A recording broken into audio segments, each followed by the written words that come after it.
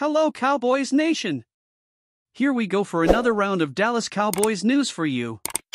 But first, leave a like and subscribe to the channel so you don't miss any news from your team. Cowboys LB Micah Parsons on Dan Quinn's future, he might take me with him, you never know. On Saturday, Super Wild Card Weekend will begin. However, the off-season signing cycle is already underway.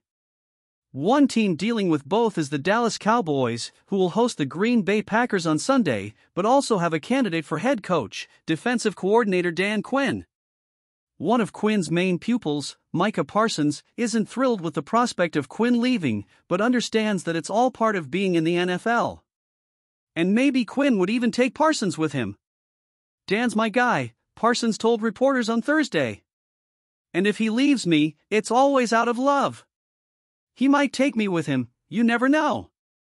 Parsons was laughing when he said the line, and it's almost impossible that Cowboys owner Jerry Jones won't lock up his sponsor with an extension at some point in the near future. However, the comment emphasizes how much Parsons likes Quinn and could be a subtle joke in contract negotiations. The 2021 first round pick has signed through 2024 on his rookie contract with a fifth year option, and Jones has already emphasized the importance of an extension for Parsons this summer while dealing with resistance from guard Zack Martin. Losing Quinn, on the other hand, could be inevitable. NFL Network insider Ian Rapoport reported earlier this week that Quinn was a candidate to succeed Pete Carroll as head coach of the Seattle Seahawks. Quinn also received interview requests from the Carolina Panthers, Los Angeles Chargers, Tennessee Titans, and Washington Commanders. So, when asked on Thursday if he thought this might be his last chance to win a Super Bowl with Quinn, Parsons answered in the affirmative. It's the nature of the business, Parsons said. It could be my last trip with Q. And if it is, let's make sure it's a very good one. Quinn, after six seasons as coach of the Atlanta Falcons, has been with the Dallas DC for three seasons. That covers Parsons' career so far, in which he has reached three Pro Bowls and become widely recognized as one of the NFL's elite players, regardless of position. Quinn has always been by his side, building a relationship that goes beyond coach and player. That's my UOG, really. He means a lot to me, not just because of, it's not just about football, Parsons said. I think Q, we were talking today and I was like, could you do the college thing? Because of Nick, Saban, retiring, and all of them. And he said, yeah. And I thought, because you're a great mentor. I think he does a great job of finding ways for you to love the game, finding ways around the game. You don't always have to be uncompromising, I'm the coach. I think it's more of a friendship. We go through what I don't like and what I do like. He doesn't just treat me like a player, he treats me almost like a friend. He's always there when I need him, and we're not afraid to have those difficult conversations, whether it's father to son or player to coach, we have them no matter what. Parsons could well have given Quinn a resounding reference in his comments on Thursday. Regardless, he still has at least one more game with Quinn on Sunday against the Packers and is fighting for at least four more. Cowboys star Micah Parsons' interesting take on Dan Quinn's exit speculation. Dallas Cowboys defensive coordinator Dan Quinn has been in the headlines recently as Dallas prepares for its upcoming clash with the Green Bay Packers in the wild card round of the NFC playoffs. Quinn has been the architect of what has become one of the league's most consistent defenses since taking over as defensive coordinator in 2021, leading some to wonder if he might opt to leave the Cowboys for a head coaching opportunity elsewhere this offseason. Recently, Cowboys defensive star Micah Parsons spoke about the speculation and why his focus is on the present and not the future.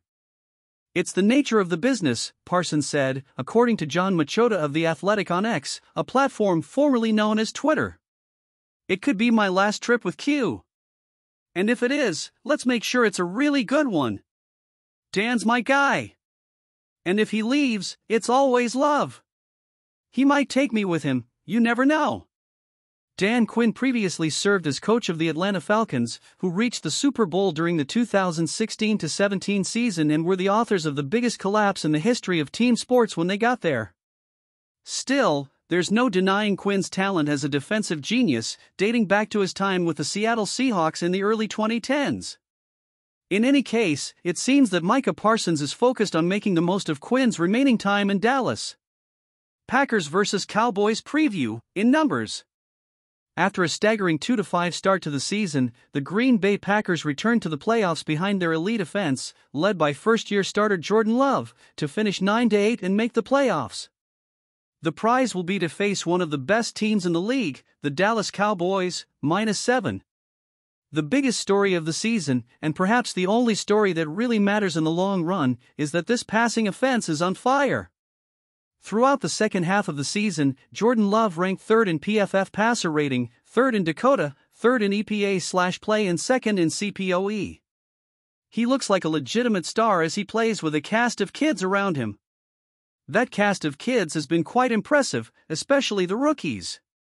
Dontayvion Wicks adjusted YPRR of 2.13 ranks 22nd in the NFL and is plus 2.2 yards after reception above expectations per reception ranks 9th.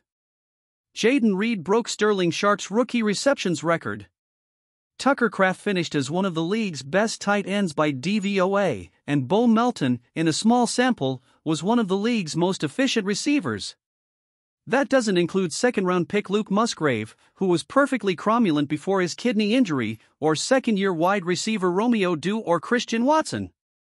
This receiving corps is full of options for Love, and that has helped them manage the rotating injuries the group has had.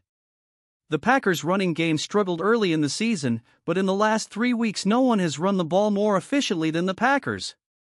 Aaron Jones is back healthy, and the play of the offensive line has improved in the second half of the season.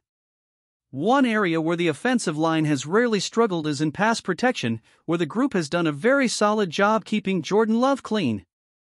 It's not hard to see why, in the second half of the season, only two offenses have been more efficient than Green Bay's.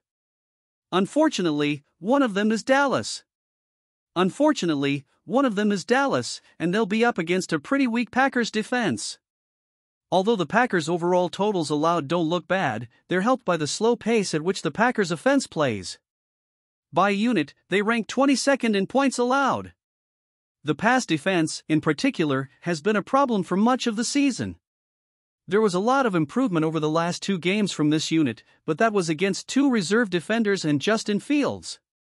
The career days that allowed Bryce Young and Baker Mayfield are not distant memories.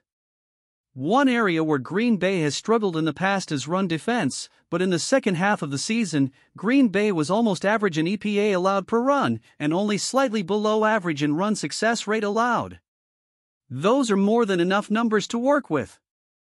The big concern this week will be the passing game. Green Bay will rely heavily on its defensive front generating pressure to slow down the Cowboys' passing game because the secondary simply doesn't have the talent to slow down a high quality Cowboys offense that matches up very well with the Packers. Fortunately, there may be some opportunities for edge defenders to wreak havoc. If you've made it this far, leave a like and subscribe to the channel so you don't miss any news about your team. Thank you.